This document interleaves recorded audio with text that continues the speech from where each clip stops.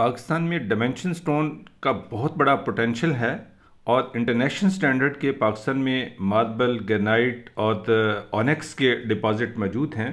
और अल्हम्दुलिल्लाह अब मैकेनाइज्ड माइनिंग पाकिस्तान में हो रही है, जिसके ज़रिए से इंटरनेशनल स्टैंडर्ड्स के ब्लॉक एक्सट्रैक्ट हो रहे हैं। इससे पहले जो माइनिंग होती थी, वो ब्लास्टिंग के ज़रिए से होती थी, जिससे हमारा 70 परसेंट वेस्टेज में चला जाता था। उसके अंदर क्रैक्स डेवलप होते थे माइक्रो क्रैक्स डेवलप डेवलप होते थे और वो इंटरनेशनल मार्केट में एक्सेप्टेबल नहीं होता था।